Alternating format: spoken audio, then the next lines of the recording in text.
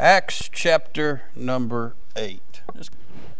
Again, reading verse number 1. The Bible says, And Saul was consenting unto his death, talking about Stephen. And at that time there was great persecution against the church which was at Jerusalem. And they were all scattered abroad throughout the regions of Judea and Samaria, except the apostles. And devout men carried Stephen to his burial and made great lamentation over him.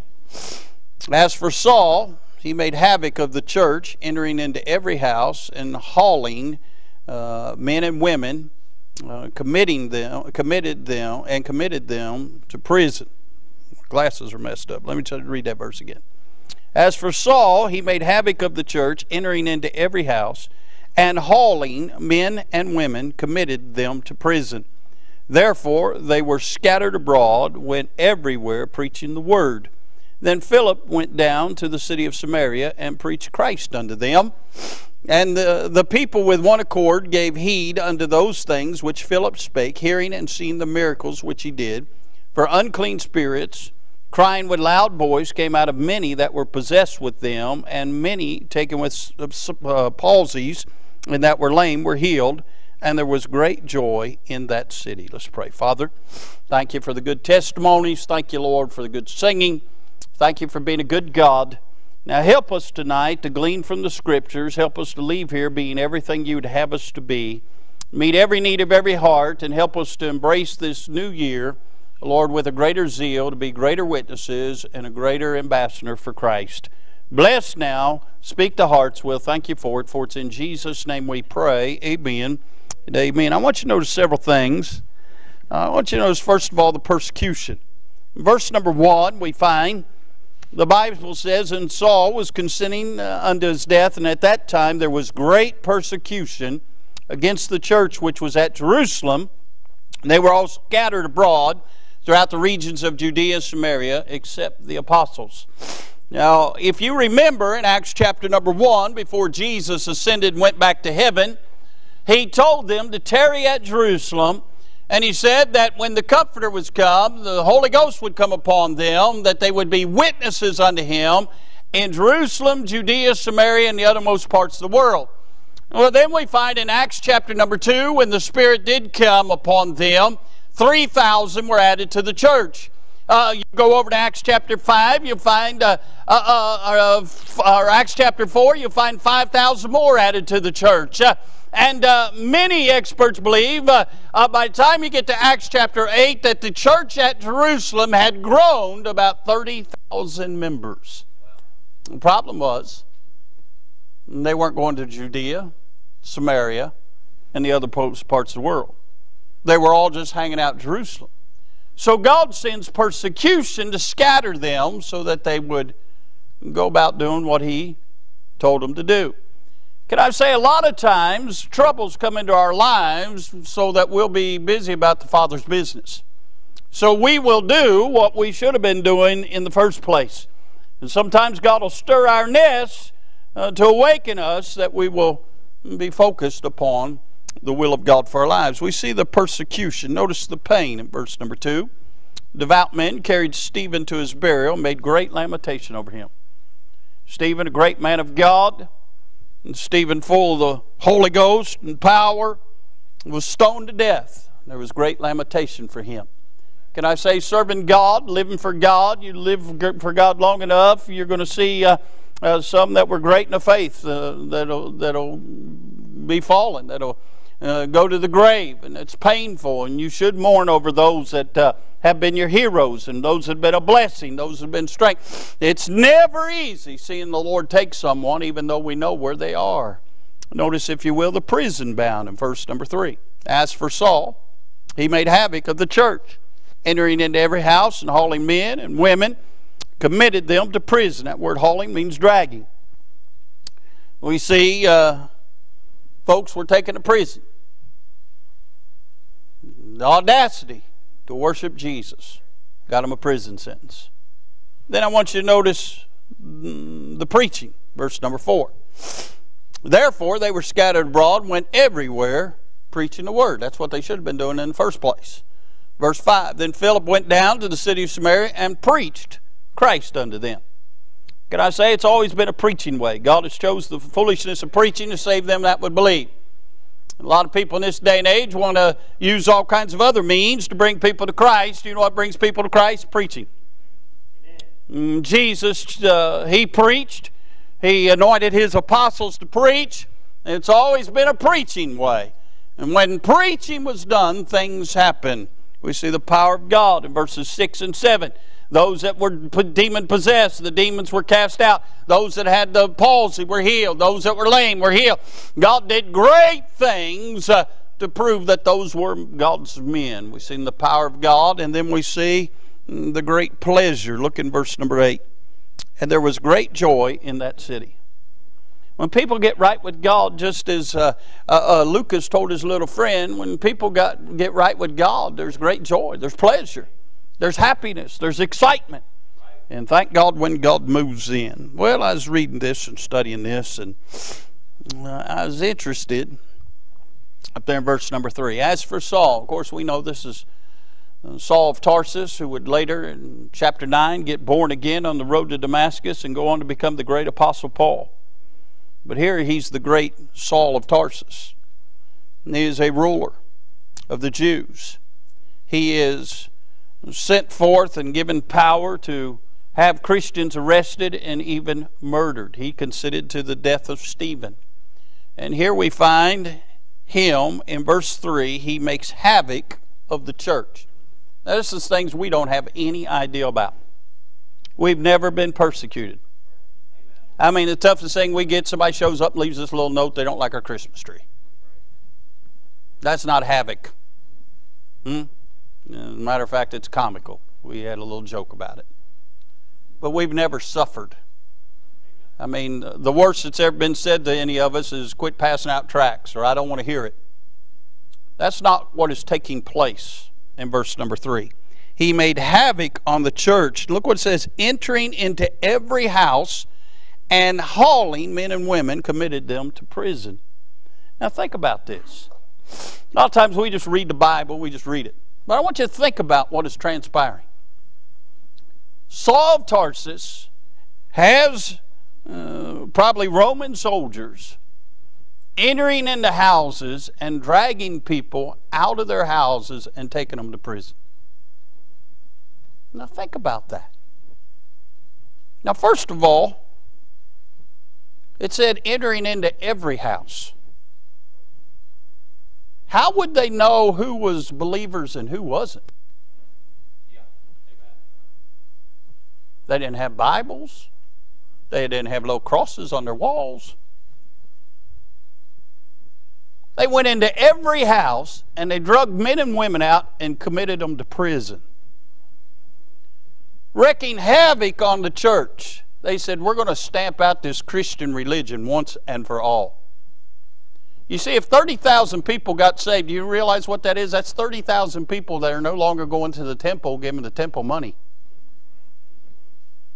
You ever want to know truth about something, just follow the money.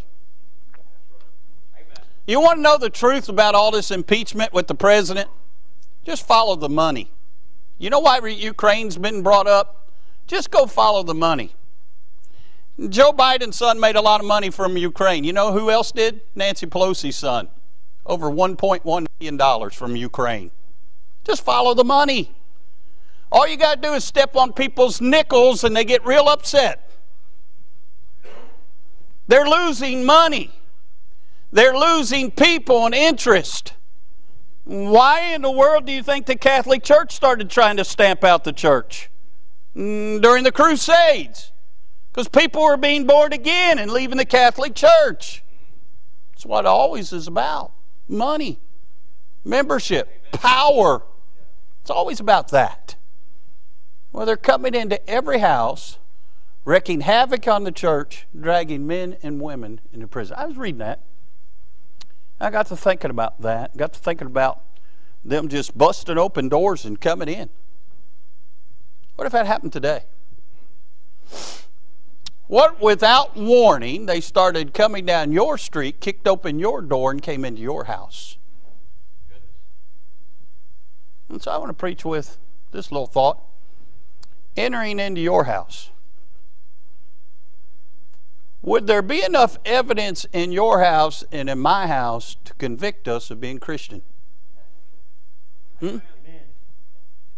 If they can kick it open the doors tonight, what would they find in your house? Now think about it. Hmm? I hope that never happens, but it may. You see a lot of these end time movies coming out, and they go into people's houses looking for their weapons, go into people's houses looking for their money, go into people's houses looking for their allegiances.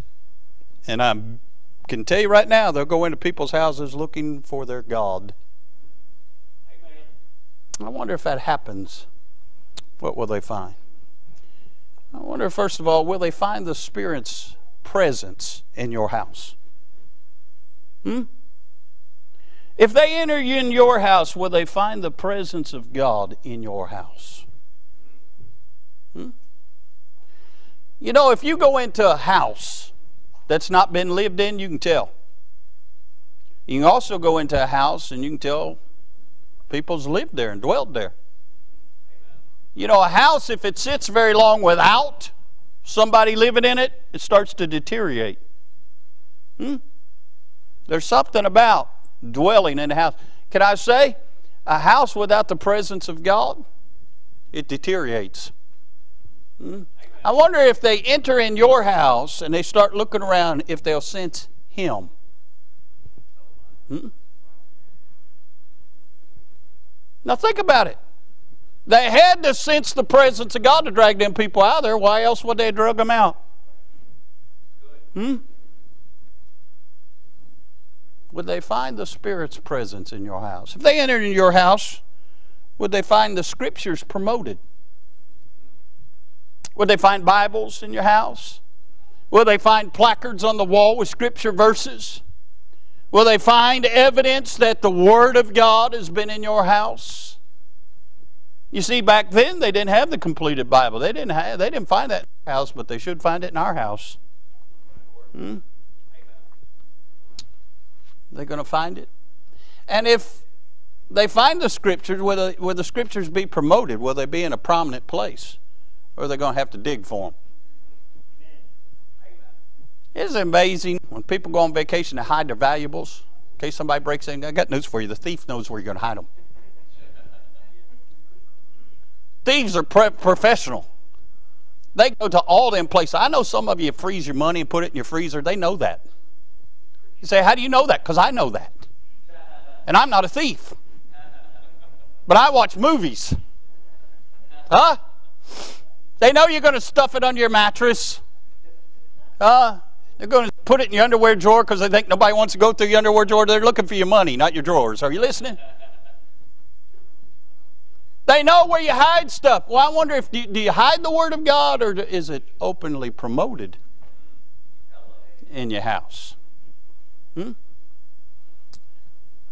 If they enter into your house, will they find the Spirit's presence, the Scriptures promoted? Will they find the Savior's peace? You know, I can, I can, I can visualize the trauma as throughout the city, centurions are busting through doors, and you can hear people screaming, and you can hear people's children being taken from them. You can, you can just visualize the trauma and, and, and, and the uh, tragic event taking place and unfolding. But those that had met Jesus, I can imagine them having a different presence about them. Even though it's terrible, even though they're terrified, they had a peace that passeth all understanding. I wonder if that happened to us, if we find that same peace. Hmm? If you've never read Fox's Book of Martyrs, there's other books about famous martyrs. Many times they'd tell them to recant the name of Jesus or they would burn them at the stake. They'd tell husband, I'm going to burn your children, burn your wife unless you recant Jesus. And not only would he not recant Jesus, But when they would light his family on fire, he'd just get into flames with them. And they would sit there and they'd be singing as the breath went out of them. It impacted those that thought uh, uh, folks would be so terrified that they'd turn their back on Jesus only to see him not only not turn their back, but have peace when they left this world. Hmm? You see, when the church has always been persecuted, whenever it's been persecuted, it always grows. Because when it is truly put to the test and our faith is tried, they'll see the difference between the real and the unreal. And if they enter your house, they're going to see the, the, the Spirit's presence, and the Scriptures promoted, they're going to see the Savior's peace. That's what separates us from the, from the rest of the crowd that claims to be saved. We really have Him. You say, Well, I don't know. Well, I, I promise you, if your faith is ever tried, He'll show up. Hmm? Thought about this. They enter your house. Will they find a song of praise? Can I say it's easy to sing when you're on the mountaintop, but it's sweet when you sing and you're in the valley? Hmm? When you don't supposedly have anything to sing about you still got a song, that's when it's real, friend. Mm-mm.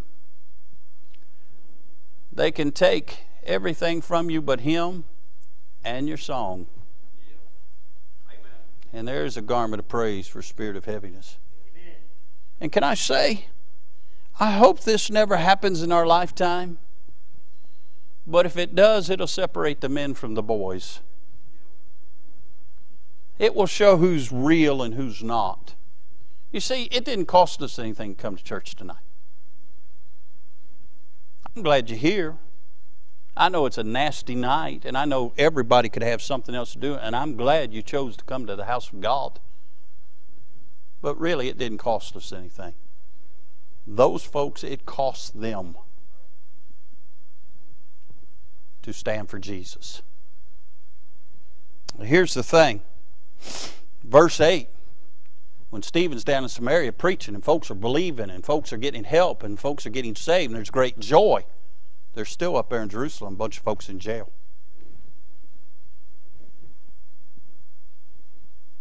Why we're here tonight and we testify and we sing and we enjoy the goodness of God, there are people in this globe in jail for the same faith that we say we have. There are people in China, Indonesia, India, Africa, places across the world that are in prison for their faith because they had the audacity to believe in the same God that we believe in. I thought about this. If they enter into your house, Will they find these great things?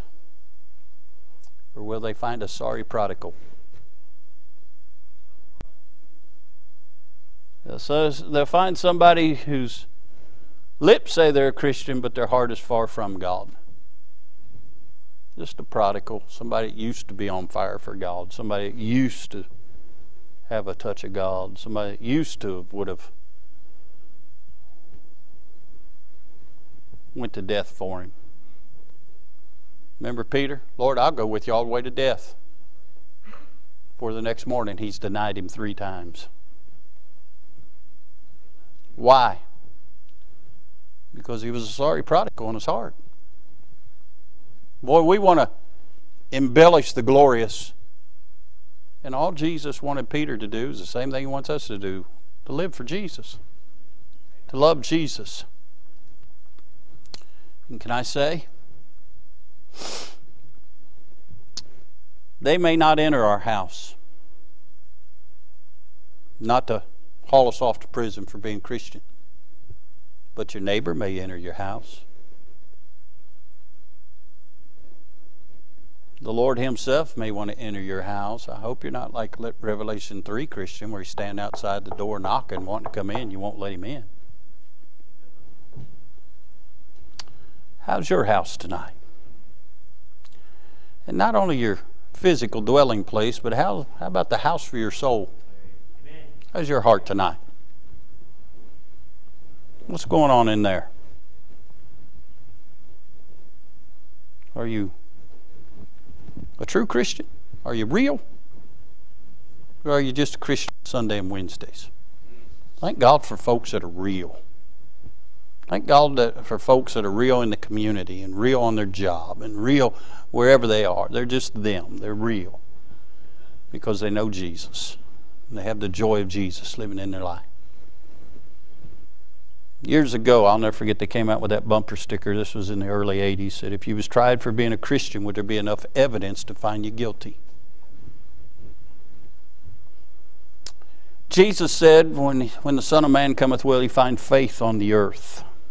Can I say the closer we get to the second coming of the Lord, there's more people professing Christianity, but there's less Christians than I've ever seen. There's a lot of people that have lip service. But thanks be unto God for folks who are real. Somebody may enter your house in the next few days. Will they find the things of God?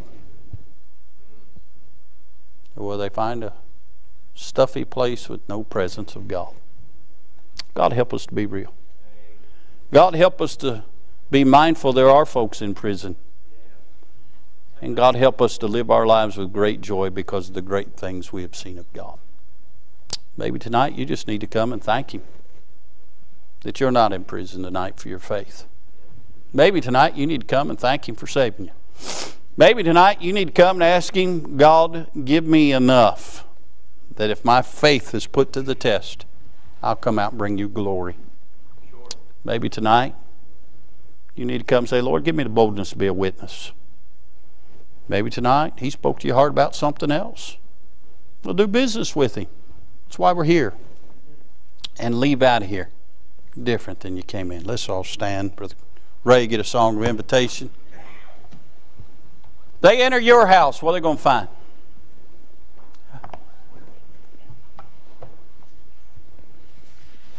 They're going to find a house or they're going to find a home. The dif- difference is Jesus. Folks are praying, they're picking out a song. Let's pray. Father, we love you. Thank you, Lord, we're not in jail tonight for our faith. Lord, I'm glad your grace has prevailed in our lives. Now, Father, help folks to not only have a, a home that exemplifies you, but their house for their soul will exemplify you and help us make a difference in these days we live. Lord Jesus, we love you. Thank you for grace. Speak to hearts. Help folks to be sensitive. Somebody here tonight just might need some encouragement. Just God blessing this invitation. Get glory. Well, thank you for it in Jesus' name. Amen.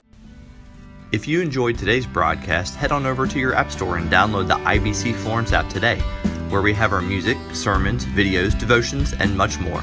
And as always, thanks for listening.